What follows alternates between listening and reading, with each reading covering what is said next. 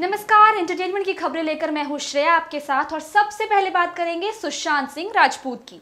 सुशांत सिंह राजपूत और सारा अली खान की नई फ़िल्म केदारनाथ का टीजर रिलीज़ हो गया है। सुशांत सिंह राजपूत और सारा अली खान की नई फ़िल्म केदारनाथ का टीजर रिलीज़ हो गया है। ये फ़िल्म सैफ अली खान और अमृता अरोड़ा की बेटी सारा अली खान की बॉलीवुड में डेब्यू फ़िल्म होगी। इस फ़िल्म में सारा अली खान की जोड़ी सुशांत सिंह राजपूत के साथ जमी है। केदारनाथ के टीजर से साफ़ है कि जून 2013 में हुई प्राकृतिक आपदा पर आधारित है। फ़िल्म की टैगलाइन है, इस साल करेंगे प्रकृति के क्रोध का सामना और साथ ही होगा सिर्फ़ प्यार। टीजर में एक और केदारनाथ तबाह होता नज़र आ रहा है तो दूसरी ओर सारा अली खान और सुशांत सिंह राजपूत के बीच इश्क नज़र आ रहा है। प्रोड्यूसर और डायरेक्टर अभिषेक कपूर के बीच हुए विवाद की वजह से केदारनाथ फ़िल्म लंबे समय से अटकी थी। अब ये फ़िल्म 7 दिसंबर को रिलीज़ होगी। केदारनाथ के अलावा सारा अली खान सिम्बा की शूटिंग भी कर रही हैं। रोहित शेट्टी के निर्देशन में बनने वाली इस फ़िल्म में उनकी जोड़ी रणवीर सिंह के साथ जमेगी।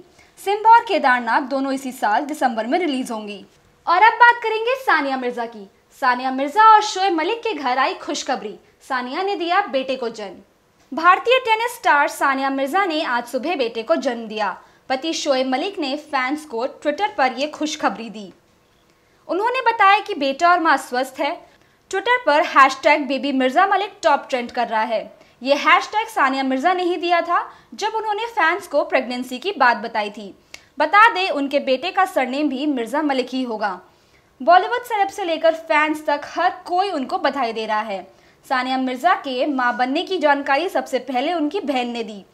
अनम मिर्ज़ा ने सोशल मीडिया पर तस्वीर शेयर की, जिसमें वो बता रही हैं कि वो खाला बन चुकी हैं।